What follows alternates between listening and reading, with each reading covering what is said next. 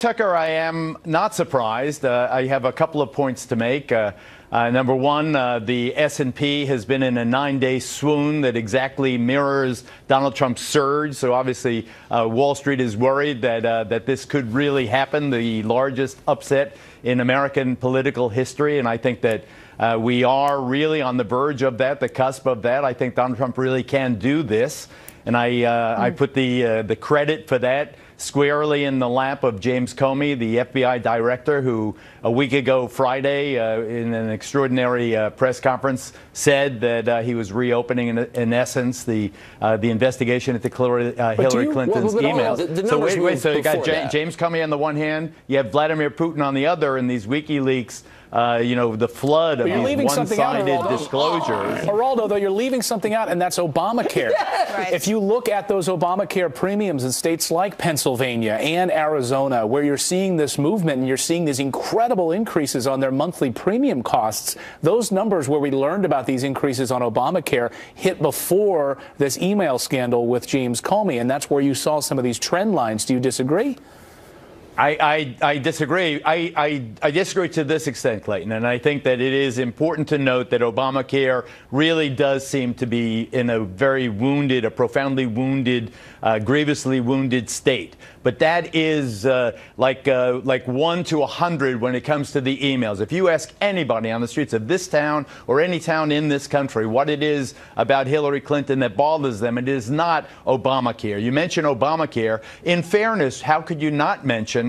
The fact that for the 73rd straight month, we have added jobs, 161,000 jobs, unemployment now 4.9 percent, yeah. wages increasing 2.8 percent. In fairness, if you're going to talk about the economy yeah, or Obamacare, you have to give a much more balanced balanced picture. It may not be great, Tucker, but uh, this well, no, no, no, remember I mean, where we were when George W. Bush was I'm president. not saying Trump's going to, but I am saying like the whole Vladimir Putin thing is just dumb. I mean, there's no concrete proof that Putin is behind this. And for someone who covered the war, I, I, don't understand how you could say that when we've had there, 12 no intelligence proof. agencies that say it's okay, the Russians okay, let, who are say, giving WikiLeaks okay. the information. Well, the and it, doesn't it strike you that there's no WikiLeaks? There are weapons of mass destruction There's no WikiLeaks about Republicans. There's no WikiLeaks about any Republicans. Okay, look, Republicans don't send emails. You don't send emails. But it doesn't mean I don't send Putin emails. Is behind it. But let me it's just, only Hillary Clinton's emails. Let me stop stop the uh, explosion for one second. Just ask this. Let's stipulate. Okay. Putin's behind it, okay? You can prove it. You can't, but let's say you could. Isn't the real point that these emails are real, and don't we as journalists have an obligation to assess them on their own terms? Like, what do they say? So this whole Putin stuff is just a talking point meant to divert our attention from the, the amazing facts in these emails, no?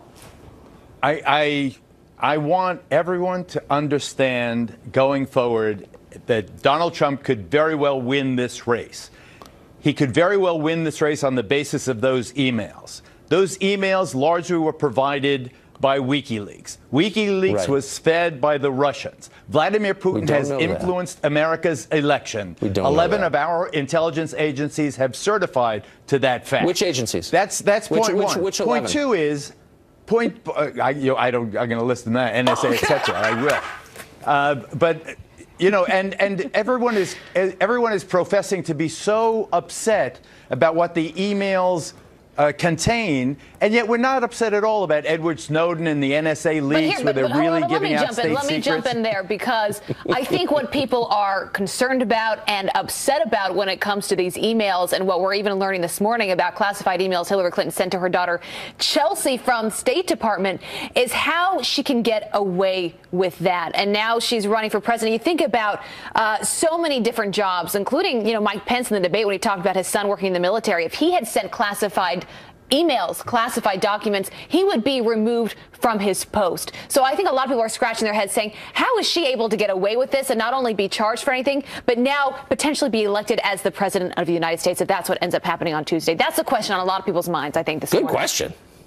Two, two points. Your last two guests have spoken of imminent indictments. You know, and I know, that Fox News a few days ago had to backtrack on the report that indictments were imminent. We have backtracked. We have said we have corrected our reporting on, in that regard. Why are indictments not imminent? They are not imminent because no grand jury has been impaneled. As right. an attorney, you, you, we know, you have to have a grand jury They have to decide whether there is probable cause that a No, crime has you're been not answering committed, Abby's question. and Her then question they and then Hillary's they indict. treatment. If No, you have no yes. grand jury, you can't have Right, an it. indictment. Now to your second point about Mm-hmm. Hillary Clinton sharing classified information with Chelsea.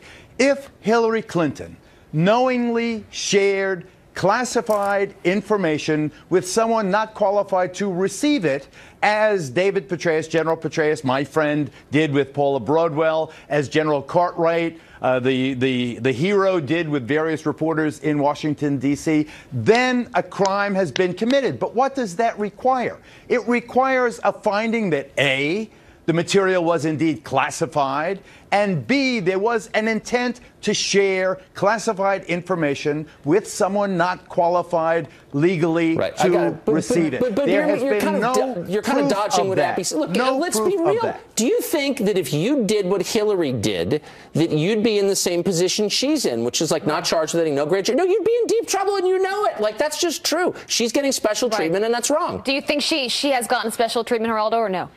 Yeah, I, I think indeed Hillary Clinton has gotten special treatment when the FBI violated its 60 day rule. What does the 60 day rule say?